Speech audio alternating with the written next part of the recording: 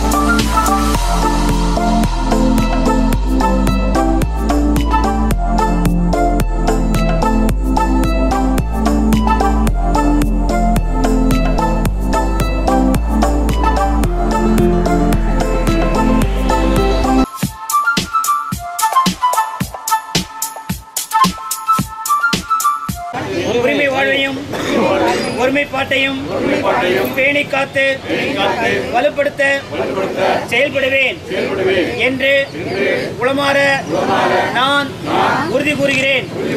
ஒருபோதும் வந்தேன் என்றும் சமயம் மொழி முதலியவை காரணமாக எழும் வேறுபாடுகளுக்கும் பூசல்களுக்கும் ஏனைய அரசியல் பொருளாதார குறைபாடுகளுக்கும் அமைதி நெறியிலும் அரசியல் அமைப்பு வழியிலும் நின்று தீர்வு காண்பேன் என்றும் நான் மேலும் உறுதியளிக்கிறேன்.